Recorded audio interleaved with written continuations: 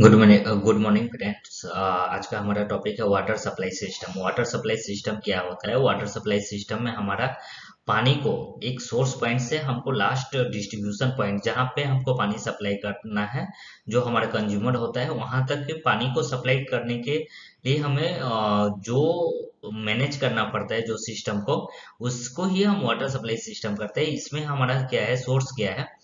Source हमारा local source हो सकता है। लोकल सोर्स में जैसे हमारा open well tube well hand pump और हमारा डैम रिवर्स ये हमारा सोर्स हो सकता है। सोर्स में पे हम क्या करते हैं? इंटेक वेल का हम कंस्ट्रक्शन करते हैं और वहाँ से पानी उठाते हैं। रो वाटर राइजिंग मेन के थ्रू हम वाटर ट्रीटमेंट प्लांट पे हम लेके जाते हैं। ट्रीटमेंट प्लांट पे हमारे पानी को ट्रीट किया जाता है ट्रीट करके एक जगह स्टोरेज किया जाता है।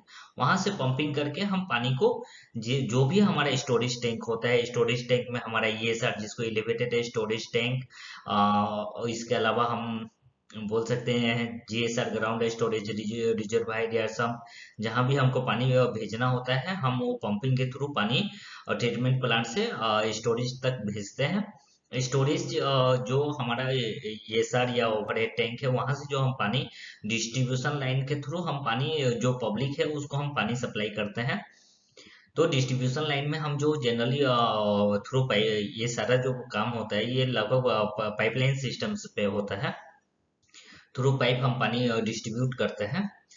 तो ये हमारा लेआउट उसी चीज़ को दिखा रहा है। नेक्स्ट सोर्सेस अब सोर्सेस क्या है? Open well tube tubewell hand pump pond dam external pipe supply rain water harvesting systems tank ये सब हमारा सोर्स हो गया अब हमारा village down level treatment reverse osmosis system R O chlorination sedimentation and filter etc इसके बारे में हम आगे डिस्कस uh, कर लेंगे। स्टोरेज में हमारा ईएसआर e और हमारा जीएसआर संप ईएसआर को हम ओवरहेड टैंक भी बोलते हैं।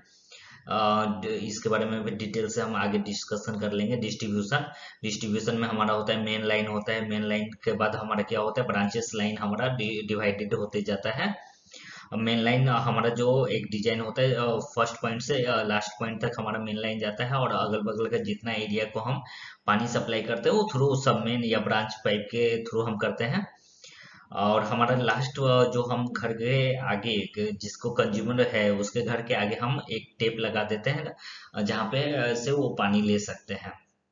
स्टैंड पोस्ट स्टैंड पोस्ट का भी हम निर्माण हर दो मतलब एफ़ एस मतलब हम हर टेप कनेक्शन तो देते हैं उसके अलावा भी हमको स्टैंड पोस्ट बनाना होता है। स्टैंड पोस्ट क्या होता है? हर 250 नंबर पीपल के आ,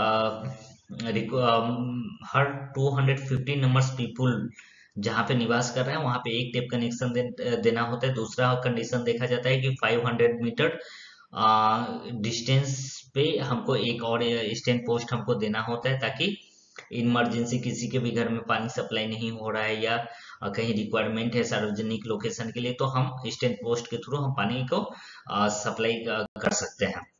ये हमारा जो नेक्स्ट है ये हमारा शो कर रहा है।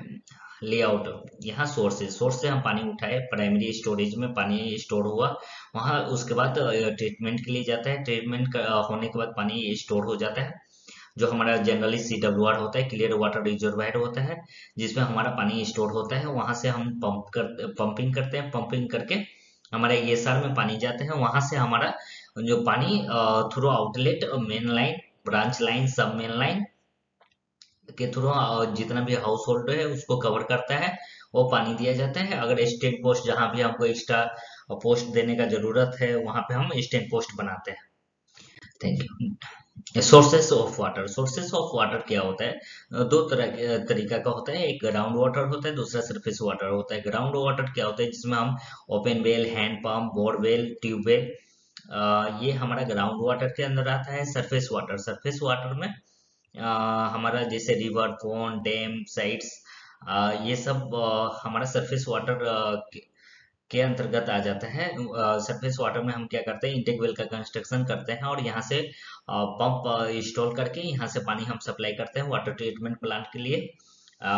Open open well open well hand pump और बोरवेल जो बोरवेल हम यूज़ करते हैं, जहाँ पे हमको ग्राउंड लेवल से हमको पानी लेना है, उसके लिए पंप इंस्टॉल करते हैं और वहाँ से पानी निकाल के हम लोकल एरिया में हम पानी सप्लाई करते हैं। हैंड पंप ऑलरेडी जो हमारा लेस नंबर्स ऑफ़ यूज़र्स को हम पानी प्रोवाइड कर सकते हैं, लगभग 60 मीटर डेफ तक। इसका where safe ground water is available up to 60 metre depth hand pump is ideal choice for a cluster और हैबिटेशन और और हमारे ग्राउंड लेवल पे पानी अवेलेबल है तो हम हैंड पंप को यूज़ कर सकते हैं। नेक्स्ट है लोकल सोर्स मतलब क्लासिफिकेशन इसको क्लासिफिकेशन हम दो तरीका से कर सकते हैं लोकल सोर्सेस लोकल सोर्सेस मतलब हमारे लोकली जो भी पानी का सोर्स है, वहाँ वो अवेलेबल है और वहाँ से हम पानी को कलेक्ट करेंगे और सप्लाई करेंगे तो वो लोकल सोर्सेस में आ जाएगा डिस्टेंस सोर्सेस जो पानी का सोर्स हमको नियर बाई लोकेशन पे नहीं अवेलेबल है, लेकिन हमको बहुत दूर पोजीशन से पॉइंट से हमको पानी लाके हमको यहाँ पे डिस्ट्रीब्यूट करना है तो उसको डिस्टेंस सोर्सेस करते हैं। डिस्टेंस सोर्सेस अब राजस्थान जैसा एरिया में जहाँ पे पानी का सोर्स हर जगह अवेलेबल नहीं है तो वहाँ पे हम थ्रू पाइपिंग सिस्टम जो भी वाटर सोर्स है, वहाँ से हम थ्रू पाइप के थ्रू हम पानी लाते हैं, और जहाँ पे हमको रिक्वायरमेंट है, वहाँ पे हम पानी सप्लाई करते हैं वाटर ट्रीटमेंट प्लांट यहाँ पे क्या करते हैं हम? जो भी पानी आता है उसका हम ट्रीटमेंट करते हैं और जो भी इम्प्योरिटीज होता है उसको हम खत्म करके और नेक्स्ट मतलब स्टोरेज के लिए हम बढ़ा देते हैं। नेक्स्ट है water supply mechanism water supply mechanism क्या है? Pump pump house and pumping machinery जब हमारा ट्रीटमेंट होके पानी जब हमारा आता है, एक जगह हमारा स्टोर होता है तो उस पानी को हमको जो भी हमारा स्टोरेज टैंक है, वहाँ पे हमको सप्लाई करना होता है। उसके लिए हम पंप इंस्टॉल करते हैं और इसके लिए एक सेपरेट हमारा इलेक्ट्रिकल और इलेक्ट्रिकल और पैनल बोर्ड्स का भी ज़रूरी पड़ता है, ताकि चौबीसों घंटा इलेक्ट्रिसिटी के अवेलेबिलिटी रहे, ताकि हमारा जो पूरा वाटर सप्लाई मैकेनिज्म है सही तरीका से वो चले। तो यहाँ पे जो हमारा लिखा हुआ है सेम चीज़ है pump is use to fetch water from source like borewell open well some मतलब जहाँ पे भी है हमारा सोर्स है, वहाँ से हमको पानी जो मिल रहा है उसको हमको सप्लाई करना है।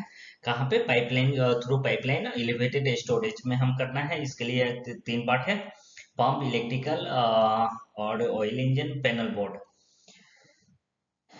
pump house का हमको कंस्ट्रक्शन करना पड़ता है for security and safety of machinery के लिए।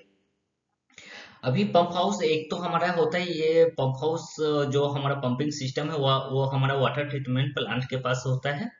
यहाँ पे भी हम एक पंपिंग सिस्टम इंस्टॉल करते हैं और सेकेंड ये वाटर सप्लाई सिस्टम एक और होता है कि जब हम वाटर ट्रीटमेंट प्लांट से पानी आता है तो हमारा एक सी डब्ल्यू आर का कंस्ट्रक्शन ईएसआर के नियर बाय हम कंस्ट्रक्ट करते हैं, जहाँ पानी आके स्टोर हो, होता है, जो जो कि हमारा डिटेंशन टाइम को मेंटेन करता है, और उसके बगल में भी एक पंप हम इंस्टॉल करते हैं, जो कि सेक्शन पाइप के थ्रू पानी को कलेक्ट करके ओवरहेड टैंक में पंपिंग करता है।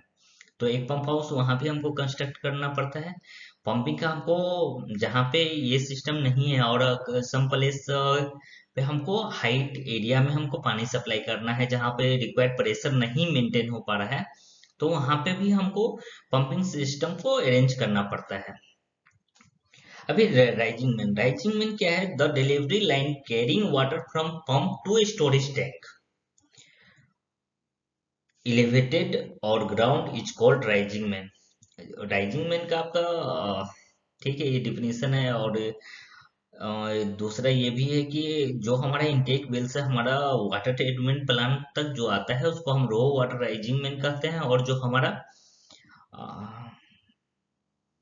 जो हमारा वाटर ट्रीटमेंट प्लांट जो हमारा ईएसआर से लेके पूरा डिस्ट्रीब्यूशन लाइन के लिए हम जो सारा वाटर ट्रीटमेंट प्लांट से हमारा सारा ईएसआर के लिए जो हम लाइन बिछाते हैं पानी का, उसको हम क्लियर वाटर राइजिंग में कहते हैं।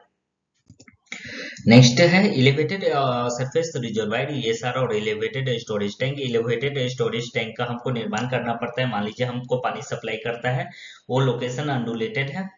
और वहाँ पे लेवल का डिफरेंस है, उसके कारण हम क्या करते हैं, एक स्टोरेज टैंक का हम कंस्ट्रक्शन करते हैं, जो कि जो हाइस्ट जो हमारा लेवल होता है, जहाँ पे हमको पानी सप्लाई करता है, उससे हाइट पे हम एक ईएसआर का कंस्ट्रक्ट करते हैं, ताकि हमारा जो पानी का प्रेशर होता है, वो थ्रू आउट मेंटेन हो सके। थ्रू मतलब storage tank to last in point of house GSR GSR क्या है? जीएसआर इज़ ग्राउंड लेवल और plinth level storage tank plinth level is generally not more than three metre ये generally तीन metre से ज़्यादा नहीं होता है, लेकिन इसका जैसे हम जीएसआर होता है और सेम क्लियर वाटर रिजर्वायर सी भी होता है। इसमें क्या करते हैं? कंस्ट्रक्शन में 50 परसेंट एरिया जो होता है, वो हमारा ग्राउंड लेवल के नीचे जनरली चला जाता है और 50 परसेंट एरिया हमारा ग्राउंड लेवल के ऊपर में रख के हम इसका कंस्ट्रक्ट कर देते हैं। या अच्छा एक और पॉइंट है, यहाँ पे लिखा है, ये सारी jet height more than 15 metre more than 15 metre लेकिन ये ज़रूरी नहीं है 15 मीटर है। ये, इसका अगर हम डिज़ाइन पार्ट में जाएँगे तो इसमें हमको ये भी देखना पड़ेगा कि नियर बाय जो भी एरिया जहाँ पे हमको पानी का सप्लाई करना है, वो लेवल क्या है। पहला, दूसरा घर का हाइट कितना है? वो वन स्टोरेज है टू स्टोरेज है थ्री स्टोरेज है, इस पे भी डिपेंड करता है ये सर का हाइट सम सम का सम का जो हम कंस्ट्रक्ट करते हैं, सम का कंस्ट्रक्शन यहाँ पे जो मतलब लिखा हुआ है, ये सम का डिफिनेशन हमको ये बोल रहा है कि पानी को हम स्टोर करते हैं, कम से कम मान लीजिए हमारा इलेक्ट्रिकल लाइन डिस्टर्ब हो गया या किसी कारण से हम पानी सप्लाई नहीं कर पा रहे हैं तो उस जो रेयर केस मतलब चांसेस होता है, उस केस में भी हमको पानी सप्लाई करना होता है तो उसके लिए हम क्या करेंगे? उसके लिए हम सम को कंस्ट्रक्ट करेंगे। सम कंस्ट्रक्ट करते हैं, ये एक गुना या दो गुना कैपेसिटी का हो सकता है ये सर का। यहाँ पे दो से पाँच दिन तक का पानी इमरजेंसी केस के लिए स्टोर करके रख सकते हैं। इसके लिए हमको सम का कंस्ट्रक्शन करना पड़ता है। वाटर डिस्ट्रीब्यूशन वाटर डिस्ट्रीब्यूशन क्या है हमको? चाहे रूरल एरिया हो, चाहे अर्बन एरिया हो। वहाँ पे हमको पानी को डिस्ट्रीब्यूशन करना है। पानी का जो डिस्ट्रीब्यूशन करते हैं वो थ्रू आउट पाइपिंग सिस्टम होता है और जो हमारा नीडेड जो प्रेशर होता है फ्लो रेट होता है, उसको मेंटेन करके हमको पानी को सप्लाई करने के लिए यूज़ करते हैं। वो हाँ required flow rate with needed pressure in the piping systems हमको जो पानी का डिस्ट्रीब्यूट करना है फ्रॉम येसा टू हाउस होल्ड ये वाटर डिस्ट्रीब्यूशन सिस्टम क्या होता है? ये हमारा पहला होता है gravity feed distribution system gravity feed distribution system में क्या होता है? हम, हमारा जो सोर्स ऑफ़ वाटर है वो हाइट पॉइंट पे होगा और जो सप्लाई विलेज होगा, वो हमारा लोअर एरिया में होगा। तो इस इस टाइप्स का एरिया में हम ग्रेविटी फ़ीड डिस्ट्रीब्यूशन सिस्टम हम यूज़ करते हैं। नेक्स्ट होता है पंपिंग सिस्टम जब हमारा वाटर सोर्स हमारा लोअर एरिया में हो है और सप्लाई जो हमको जो एरिया में करना है, वो हाइट पे है तो उस केस में हमको पंपिंग सिस्टम हमको यूज़ करना पड़ता है। ड्यूल कॉम्बिनेशन समटाइम्स क्या होता है अंडुलेटेड एरिया है हिली एरिया है ये ओपन लैंड है तो उसके, उस जगह पे हमको ड्यूल कॉम्बिनेशन सिस्टम में हमको यूज़ करना पड़ता है। जहाँ जहाँ हमको पंपिंग का ज़रूरी पड़ेगा रिक्वायर्ड प्रेशर मेंटेन करने के लिए वहाँ पे हम पंपिंग का सिस्टम का यूज़